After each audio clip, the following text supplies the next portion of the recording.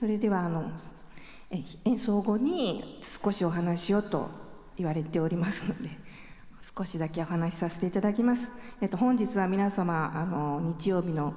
えー、お忙しい中というんでしょうか あの時間いただきまして本当にありがとうございました。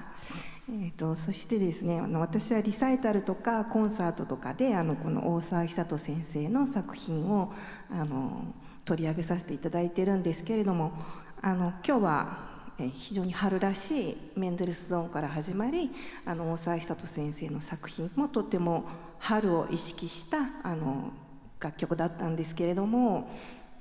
あの皆様いかがだったでしょうか？春を感じていただけてありがとうございます。ありがとうございます。あの強要したようで申し訳ないんですけど あの春を感じていただけるような、えー、プログラムそしてあの、まあ、洋と和のですねこの春の雰囲気の違いとかそういうものを感じていただけてたら嬉しいなと思います。で特に大沢先生のこの曲はあの私も何回も弾かせていただいてますけどあの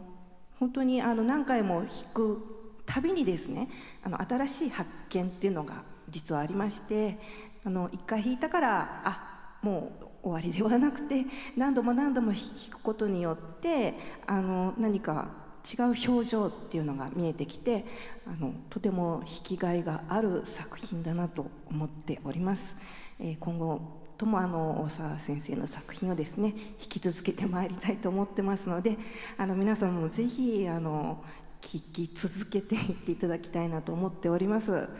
あのそしてこの世界情勢の中ですねこのように平和に弾ける機会を与えていただけたことをあの感謝しております。え皆様にも感謝しております。本当に今日はどうもありがとうございました。